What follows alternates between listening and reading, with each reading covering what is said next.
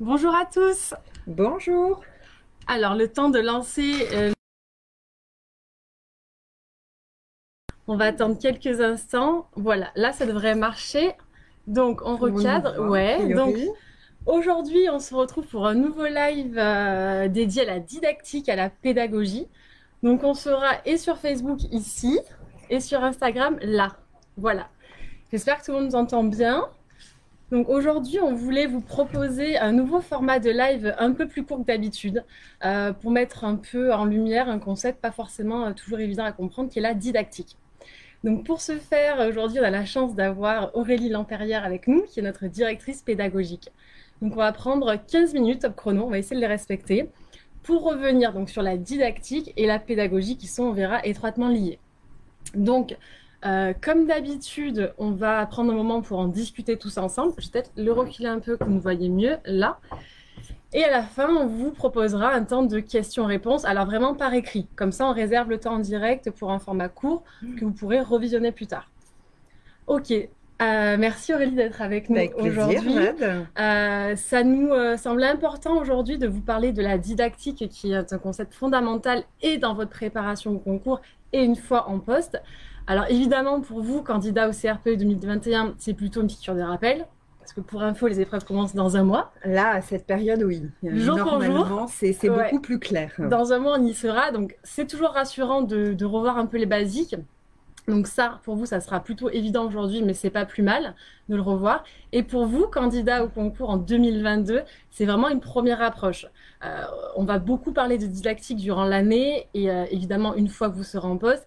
Et on va voir pourquoi c'est important dès maintenant de comprendre ce que c'est, de comment, euh, comment en fait commencer à apprendre ce concept. Euh, donc Aurélie, Ouais. c'est c'est vraiment important dès maintenant d'en parler.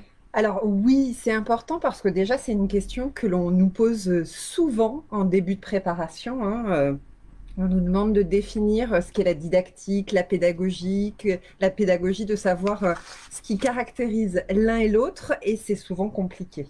Alors, c'est pas par hasard, hein, c'est évidemment parce que c'est étroitement lié. Mais euh, pour nous, c'est important de, voilà, rapidement, hein, il y a eu de nombreuses euh, études, mémoires sur le sujet.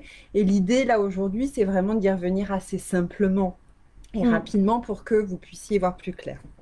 Ça, Alors. ce sera vraiment une première approche. On y reviendra de toute façon plus tard dans l'année, mais là, c'est vraiment ça. pour faire un premier zoom. Alors, vous disiez, Jade, hein, il y a deux raisons, selon moi, importantes. C'est effectivement parce que le métier de professeur des écoles, euh, lorsque vous allez euh, être professeur, vous allez forcément vous interroger sur euh, la didactique et la pédagogie, hein, puisque c'est, euh, c'est- ça va vous, vous interroger dans votre pratique quotidiennement. Euh, c'est ce qui va vous permettre vraiment de construire vos enseignements, de savoir euh, ce que vous avez à la fois à transmettre à vos élèves et comment euh, transmettre à vos élèves en prenant euh, différents euh, facteurs. Et, ça, c'est la première raison, Jade. Et la seconde, je dirais que c'est lié. Donc, la première raison que j'évoquais, c'est effectivement parce qu'un enseignant va quotidiennement devoir s'interroger sur ce qu'il va transmettre, ce qu'il a à transmettre et, sur ce qu'il va et le comment il va transmettre. Donc, ça, c'est. C'est important, évidemment. Et puis, euh, pour ceux qui, rejoignent Fort Prof, euh, on vous prépare à ce concours qui donne la part belle à la didactique. hein. Euh, alors, dans le concours euh, 2021, puisque si on reprend un exemple en français mathématiques, le candidat, si on cite le texte, hein, doit analyser un dossier composé d'un ou, plusieurs supports d'enseignement, euh, choisis dans le cadre des programmes, évidemment. Et donc, euh, il va analyser euh, des, des productions d'élèves, des manuels, euh, permettant d'apprécier sa capacité à maîtriser les notions présentes dans les enseignements. Donc là, on n'en est pas encore à, à vous définir la notion de didactique et de pédagogie, Ouais, mais on ouais. voit bien quand même que dans le concours actuel, c'est extrêmement important. Dans le concours 2022, euh, pour ceux qui vont commencer à s'y préparer, c'est la même chose. hein. La didactique et la pédagogie, euh, ça en fera partie, à la fois dans la, fameuse épreuve d'application, euh, dans l'un des, trois domaines, puisque euh, là encore, les candidats auront à, à faire preuve et justifier de leurs connaissances, mais pas uniquement, à travailler aussi sur la cohérence des apprentissages par la conception, l'analyse d'une séance. Et même chose pour les épreuves orales, puisque une épreuve, par exemple, de leçon euh, en français et mathématiques va euh, demander au candidat de devoir justifier ses choix pédagogiques la notion de travailler dans la leçon. C'est ça, c'est qu'en fait, on, voit euh, dès le début de l'année de préparation au concours, on va parler didactique parce que c'est justement ce sur quoi vous allez vous baser pour enseigner à vos, élèves. C'est ça. alors, du coup, est-ce qu'on peut essayer de proposer une définition de ce qu'est la didactique et la pédagogie, même si ça restera assez euh, conceptuel pour le moment? Oui, alors euh, sans donner une définition très précise, mais ce qu'on peut peut-être euh, dire d'essentiel, c'est que la didactique, c'est vraiment attaché, attaché, au contenu disciplinaire et, et au, à leur processus d'apprentissage alors que la pédagogie, ça va plutôt donner euh, un style et s'attacher au style d'enseignement mhm. sur le terrain. D'accord? C'est la didactique, revenons euh, sur, euh, sur ce, concept, hein. c'est vraiment attaché à la discipline. Jade, par exemple, vous allez parler de la didactique des mathématiques, mhm. euh, la didactique du français, des notions de ces disciplines. Il y a vraiment une expertise et, là, on est au cœur de la didactique, mhm. d'accord? C'est de réfléchir à la façon dont on va transmettre, euh, par exemple, le calcul soustractif à un élève. Euh, au préalable, bien évidemment, l'enseignant aura travaillé avec ses élèves sur l'addition, d'accord? Mhm le calcul additif pour lui permettre et permettre à ses élèves de comprendre le calcul soustractif. C'est donc on est vraiment attaché à la discipline. La pédagogie, c'est différent. Euh, alors c'est lié, mais c'est différent parce que vous allez vous attacher en tant qu'enseignant et vous allez vous questionner sur la façon dont vous allez euh, articuler tous ces enseignements finalement, donc toutes les notions. C'est ça, dans votre classe, euh, en tant qu'enseignant, vous allez aborder et travailler plusieurs séances avec les élèves dans une même journée. Vous aurez prévu une séance de français, de maths, d'histoire, euh, mais peut-être que cela, vous allez le modifier au cours même de la journée par rapport aux événements qui vont se mhm. dérouler. Vous allez choisir de plutôt travailler euh, d'une manière plus individuelle, plus collective. Ça, c'est vos choix pédagogiques. C'est en fonction des élèves qui seront en face de vous et dans votre classe, évidemment. C'est ça. Et, je vois que Nejma sur Facebook nous dit que c'est difficile quand on n'est pas encore sur le terrain de comprendre. Et c'est ça, parce qu'en fait, la pédagogie, ça va vraiment être une réaction euh, aux difficultés rencontrées par vos élèves euh, dans leurs apprentissages. Et là, vous allez réagir différemment. Euh, mhm. En maternelle, par exemple, on va on va multiplier les différents ateliers pour éviter aux élèves de se lasser, par exemple. Et donc ça, ça va être l'objet d'une pédagogie particulière à hmm. proposer. Euh, donc c'est vraiment être enseignant, c'est vraiment être praticien euh, sur le terrain et se rendre compte de ce qui ne va pas, ce qui fonctionne et le mettre en application pédagogiquement. Pédagogiquement, c'est exactement ça. Euh, c'est ça. la, didactique, on est vraiment sur la réflexion, sur la transmission des savoirs, des connaissances. C'est assez scientifique comme process. C'est plus scientifique, effectivement. Et les pédagogies, il y en a euh, et on fait des choix. On y reviendra tout à l'heure. La pédagogie inversée. on parle de pédagogie Montessori. On parle de nombreuses pédagogies. Euh, c'est des choix en qualité d'enseignant que vous êtes amené Mais les fondamentaux du didactique par discipline seront à transmettre de toute façon. C'est ça. Et c'est conduit par les programmes, évidemment, auxquels on fera référence tout à l'heure. D'accord, donc le didacticien va plutôt se demander quelles sont les connaissances à faire passer. Mmh, c'est ça, c'est ça. Euh, comment est-ce que ces élèves vont-ils les intégrer Et donc vraiment, quel est le processus d'apprentissage à mettre en œuvre? C'est ça, exactement. Ça, c'est vraiment ce que les questions vont, que va se poser le didacticien. Le pédagogue, lui, il, va plutôt s'interroger sur quelle organisation je mets dans ma classe, quelle transmission euh, des savoirs, mais dans le cadre de ma classe, mmh. j'insiste là-dessus et quels enchaînements entre les différentes applications je, vais euh, penser et proposer à mes élèves? Voyez, j'espère que c'est clair. Vous nous direz si ça commence déjà à faire un peu sens pour vous, les distinctions entre les deux. Euh, donc ça, c'est plutôt quand vous serez en tant qu'enseignant dans votre classe. Mhm.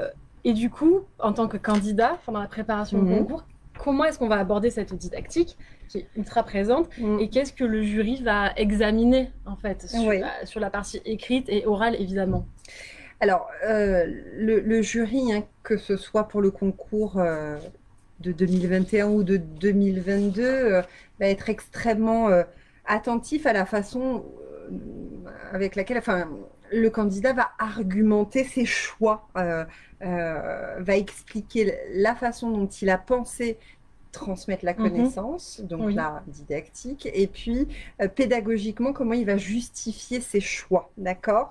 Euh, si, je prends...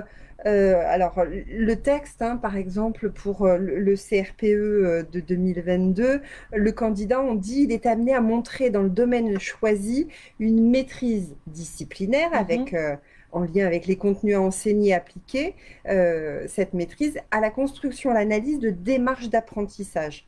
Je prends un exemple, Jade. En histoire, euh, en CM1, l'enseignant, il va aborder avec ses élèves, par exemple, le thème des Celtes, Gaulois. Ça fait partie des programmes, d'accord D'accord. Le jour du, concours, euh, dans cette épreuve, il est dit que le candidat pourra tout à fait être interroger sur ses connaissances, euh, ses, connaissances, lui, en histoire, d'accord? Quelle est l'origine des Celtes? Euh, qu'on fait les mhm. Celtes, etc., etc. Ça, c'est des questions purement notionnelles qui, seront euh, posées aux candidats. Après, en revanche, il y a une partie qui est quand même aussi extrêmement importante. L'enseignant pourra être questionné donc sur les choix et et, de devoir expliquer comment il va travailler ce thème avec ses élèves. Comment, alors la connaissance, comment il va transmettre mhm. la connaissance et comment, euh, en plusieurs séances, il va pouvoir faire comprendre la période à ses élèves. Pas en une seule séance, en plusieurs séances. C'est ça, c'est qu'il y a vraiment une approche de comment est-ce que mes élèves vont comprendre, est-ce qu'ils l'ont bien compris. C'est ça, c'est euh, on peut, on peut donner un autre exemple hein, par rapport à, ce concours sur l'épreuve de la leçon. Hein. Euh, le candidat, je le disais tout à l'heure, il va être interrogé vraiment sur la conception, l'animation d'une séance d'apprentissage à l'école primaire. Et on va apprécier à la fois, donc là encore, sa maîtrise disciplinaire par rapport au thème, à la notion qui sera travaillée lors de, cette euh, séance de leçon. Euh, mais à la fois, il va devoir justifier de la maîtrise de ses, des, compétences pédagogiques euh, et de la façon dont il va les faire travailler avec ses élèves. Ok, donc il y a une approche didactique et pédagogique clairement au concours. Euh, qu'est-ce que, quels sont les premiers conseils qu'on pourrait donner euh, donc aux candidats pour commencer à rentrer en fait hein, dans ces concepts et, commencer à se les approprier? Oui, alors pour euh, ceux qui sont en train de finaliser les révisions pour le CRPE 2021, évidemment, je vous invite à reprendre euh, tous les supports didactiques hein, qui ont été euh, proposés, les fascicules de didactique euh, proposés en français et mathématiques, hein, dans lesquels il y a vraiment des, des conseils précieux, qui reposent évidemment sur les programmes du, cycle 1 au, cycle les programmes, il faut, 4. c'est impératif avec les repères euh, euh, de progression et les attendus. Mhm. Là, c'est précieux parce que c'est vraiment ce qui va construire euh, l'enseignement. évidemment, je, vous invite à, à reprendre pour ceux qui se préparent avec nous bah, tous les corriger parce qu'on a largement euh, développé des, des parties euh, didactiques. Donc là, il y a des conseils importants pour pouvoir savoir bien argumenter, réfléchir comme un mhm. PE finalement. Hein. ça, c'est essentiel. voilà, ça, c'est vraiment les conseils. on va donner quelques références ensuite, Jacques, qui peuvent aider même ceux qui, qui pour nous rejoindre en 2022. Oui, hein. c'est ça. Hein. Vous, euh, pour le concours 2022 ou 2021, vous aurez besoin de vous appuyer sur des ouvrages de référence. On va vous donner la liste euh, un peu plus bas là, en, commentaire après.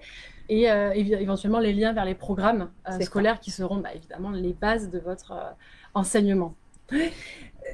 Ce qu'il faut évidemment toujours avoir à l'esprit, hein, c'est qu'on attendra toujours de toute façon qu'un enseignant fasse preuve de pragmatisme, hein, de bon sens, et qu'il réussisse le jour du concours à associer cela évidemment avec euh, les programmes qu'il a à connaître euh, pour convaincre le jury qu'il a en face de lui ou derrière sa copie. C'est ça, c'est la posture, euh, la posture euh, de l'enseignant en fait C'est ça. C'est devenir là, vous êtes aujourd'hui candidat, petit à petit, vous allez devenir un PE, un professeur des écoles, et vous allez devoir le justifier par des choix pédagogiques notamment et didactiques au concours je crois que, enfin voilà, si, on devait revenir sur ce qu'on a pu euh, développer là pendant ce, mini-live, euh, c'est de revenir sur la didactique. On est d'accord, on est vraiment attaché à la, à la discipline. Mm-hmm. On est vraiment euh, très lié aux, connaissances disciplinaires. Il y a une expertise, il y a une approche très scientifique. Et la pédagogie, euh, on va plus s'attacher au comment, euh, dans son quotidien en tant euh, qu'enseignant, je vais fonctionner avec mes, mes élèves. C'est ça, donc qu'est-ce que j'enseigne et comment je l'enseigne, grosso modo. Ok, donc j'espère que c'est plus clair pour vous. a priori, on a fait le tour d'une première approche sur ces deux concepts. On pourrait éventuellement en parler beaucoup plus, hmm. mais, mais ça mériterait un live beaucoup plus long. Et nos stagiaires, je vois une, un retour évidemment, euh, euh, ce qu'on a évoqué en termes d'outils sur euh, et avec des fascicules, on aura des capsules évidemment qui vous aideront au niveau de la didactique. Oui. Alors on ça, sur les, les, courants pédagogiques évidemment, ça sera à votre disposition pour, pour vous faire rentrer. C'est ça. Nous, nous, on a fait le choix chez Fort Prof de vous proposer vraiment une, une, approche de la pédagogie, un enseignement, de la didactique dès le début de l'année parce que parce que ça va faire partie de votre préparation. Et donc, dès les premiers sujets, vous avez euh, des parties sur la didactique. Euh, tout à l'heure, on parlait de, pédagogie propre à, chacun. Finalement, nous, chez Fort Prof, par exemple, pour que ce soit encore plus clair, on a fait le choix de la pédagogie inversée, c'est-à-dire qu'elle va s'opposer aux cours magistraux ou descendants qu'on peut connaître dans les écoles, où euh, l'élève va prendre ce que lui dicte l'enseignant, va prendre en note. Nous, c'est pas du tout ça qu'on propose. On propose quelque chose de où euh, l'élève, le stagiaire, donc l'apprenant, va être plutôt au cœur des apprentissages. Il va consolider son savoir. Alors, comment ça se passe concrètement? Ça va peut-être vous aider à comprendre encore mieux la pédagogie. Oui, concrètement, nous, euh, systématiquement, on va proposer des, supports euh, sur lesquels nos stagiaires vont travailler toujours pour pouvoir s'imprégner, se poser des questions et venir ensuite nous retrouver euh, les samedis ou en visio ou, avec les professeurs pour pouvoir reprendre ce qui a été euh, travaillé en amont et, insister là où, finalement il y a le plus de besoins et le plus de difficultés en termes de compréhension. Et donc euh, voilà, c'est un travail, on, est capable, les élèves sont aussi tous capables d'apprendre beaucoup de choses, de choses par mmh eux-mêmes. le temps doit être un utiliser intelligemment. Oui, c'est ça. C'est que le CRPE, c'est une course contre la montre. Vous savez, vous euh, qui passez le concours dans un mois et vous allez vous en apercevoir vite, euh, candidat au CRPE 2022. Donc, on a peu de temps pour apprendre beaucoup de choses. Et donc, nous, on a fait ce choix-là de la pédagogie inversée, entre autres pour ça, pour arriver à rentrer un maximum de connaissances. Et mieux assimiler. Parce que... Et mieux assimiler, parce qu'en l'assimilant mieux, vous n'avez pas forcément à y revenir autant de fois derrière. Donc, voilà, on attaque en septembre, vraiment à la rentrée. Vous avez huit mois pour, euh, pour tout apprendre et, ça fonctionne très bien depuis de nombreuses années. Euh, donc merci Aurélie, on a fait le tour, je pense. Merci à vous de nous avoir suivis. On a essayé de respecter le temps. Euh, désolé sur Instagram pour les coupures de son, on fera mieux la prochaine fois. Évidemment, ce live est dispo en replay immédiatement après sa diffusion. on va répondre aux commentaires en direct. Je crois qu'on a déjà commencé. Brigitte a déjà commencé à y répondre. On va continuer. On mettra quelques références. oui, euh, évidemment, on mettra les références euh, mm. également en commentaire. Euh, bon courage à tous les mm. candidats au concours 2021. Un coucou à nos stagiaires fort profils de la promo Albert Camus.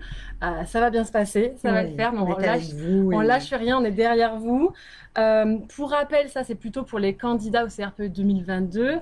On se retrouve mardi prochain à 18h pour une nouvelle réunion d'information. Donc on parlera du concours plus en détail, des épreuves, de ce qu'on attend de vous. La façon dont on, expliquera un peu plus notre méthode. On reviendra sur la réforme, sur les conseils de préparation. Pourquoi est-ce qu'il faut commencer à se préparer maintenant? On l'a vu, hein, par exemple, la didactique, c'est indispensable.